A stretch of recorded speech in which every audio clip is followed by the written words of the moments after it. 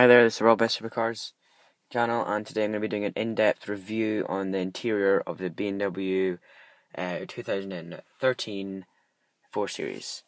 So, a lot long ago, um, I did do a review on this car, um, but unfortunately I didn't pay much attention to the interior. It was mainly about the exterior, the engine, the horsepower, all that stuff. So today we will be doing a bit more.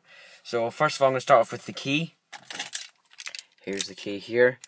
Uh, I really do like the blue trim around the outside anyway. So basically, you just pop that in here, and then there's a stop start button here you press. So um, yeah, so it's um, if the key is within a radius of what I think it's 10 meters, the car will cut out. So if I have my pocket right now, um, and say my mum jumped into the car, started it, and drove off, I had keys in my pocket, the car would cut out after about 10 meters because of the signal, um, which is actually really cool. Uh, I really do like that. Um, but anyway, so we'll talk more about the button. So this is my favorite button in the car, is the Sport Plus button, which will stiffen up the suspension, stiffen up the steering, uh, quicker response to the to the gears. It's actually really nice. Um, and then you've got Eco Pro button, which is better commissions and all that. So you're not you're not producing that much. Uh, you know, feels bad for the environment. Anyway, and then you've got another button here that's for parking sensors turning off, um, because that's sometimes getting annoying and the beep beep beep beep beep. All that, that really drive me nuts when we did have the old X5. Um, anyway, so we'll continue on. So you got um, this is my favorite. Oh, one of my favorite, another favorite buttons. I just quickly pop this uh, TV screen on. That's not really a TV screen, but you've got it all now. It's uh, standard in all BMs now in all the new models. So because the engine isn't on, it doesn't give us that many options of what we can do. It says here we can go on to multimedia, radio, or vehicle information, and you're using this little button here to scroll up and down what you want. So say uh, I'll go to multimedia for a bit, and then this is a cool part. You go CD, you can control the sound. So what's sound? There you go treble, bass balance, volume settings reset, etc.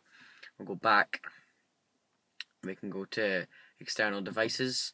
So right now uh, there is no devices connected. Um, it's not picking up any devices either, but it will. Um, so you have previous connections. Oh, I won't show up in a minute, but uh, I usually have either my phone or my phone or my dad's phone connected to the car, which is actually quite cool because basically I'll see um, I can't actually do it at the minute, but anyway, um, yeah. So basically, you can play music from your phone without your car even being connect from without your phone even being connected to the car, which is really really cool. Anyway, so more on the car. So we go back here, and it'll just take us back through the screen to the very first one we started on to. We go to menu again, uh, menu, and then you go into radio or the vehicle information. But no, you don't really want to use the vehicle information. That's like when you're taking it for service or anything goes wrong. So we're going to radio now, and then FM, AM, all that crap. Anyway, you go right back. I'll go right back again. Um, I could go into media. There's a quick button here. You just press media, and it'll take you straight to media, like before. Um, and that's just internal devices again. Um, connections, set wireless devices via connections menu. So go to menu again. Uh, anyway, yeah, so basically the key, the car actually needs to be on for um, you to do more, such as telephone, navigation, contacts, connected device, and go into settings, which is kind of annoying. But um, yeah, there's another thing I want to show you actually. We'll go down to radio, FM, turn it up a wee bit. I hate that song. Um, there you go and it'll tell you the name. Obviously, I'll go back. Uh, it'll tell you the name of the station, and uh, when you've got uh, when sometimes when you're on uh, say Radio One or something like that, you press this little button here, and it'll actually tell you the name of the song that's on Radio One, which is actually really cool because I really hate when you're listening to a song in a car and you can't don't know the name of it. It's really annoying. So go along to the button. Turn this down. So anyway, so you've got the buttons down here, such as you've got the fans, you've got the heated seats, which I really do love. Uh, the engine needs to be on again, and you've got the fan here for the car, and then this button here just recycles the air system. This uh, it puts the air system to your face. The fan, fan on and off. Um, and then obviously you got your one radio one, two, three, four, five, six, seven. Um, you can also save stations that you listen to all the time.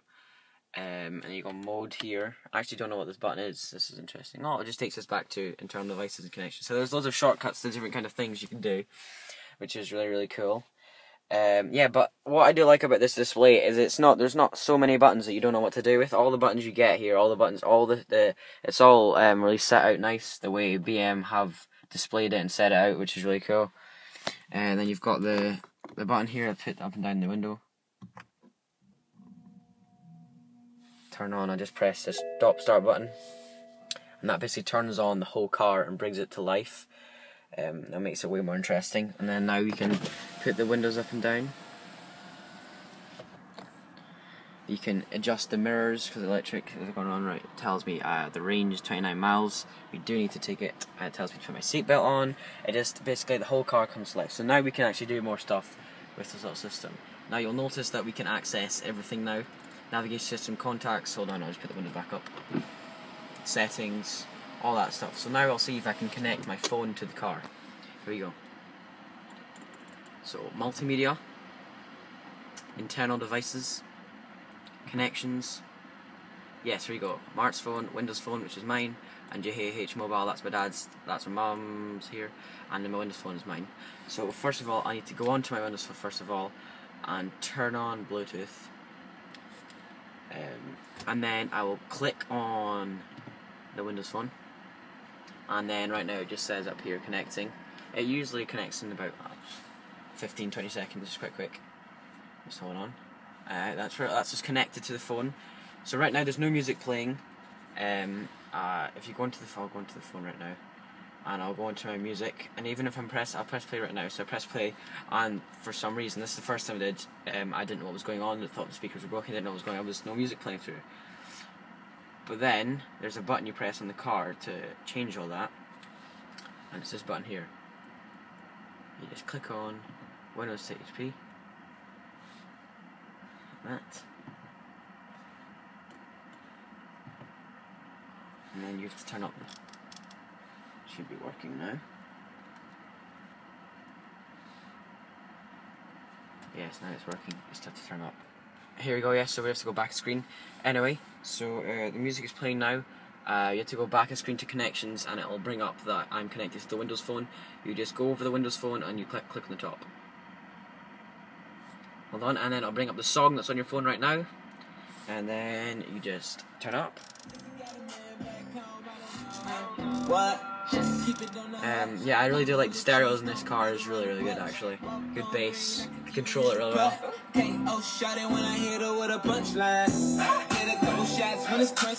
Yeah, you know what I mean. Anyway, so that's that playing on my phone now, and then you can just shove your phone down there. And if you have an iPhone or anything, you just plug your iPhone in, and I'll show you the picture of the cover as well. So that the BM has got quite some good surprises for you here. Um, it's not a car you're gonna get bored with quickly.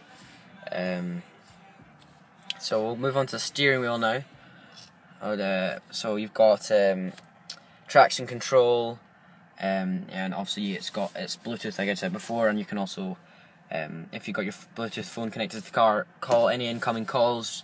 We'll be able, be able to talk to. So hang uh, hang up or answer to a call. You know you've got mode again, same use for that. So basically, it's all on the steering wheel for better reach, um, for when you're driving or the motorway or something like that. And then you've also got turn up and down again.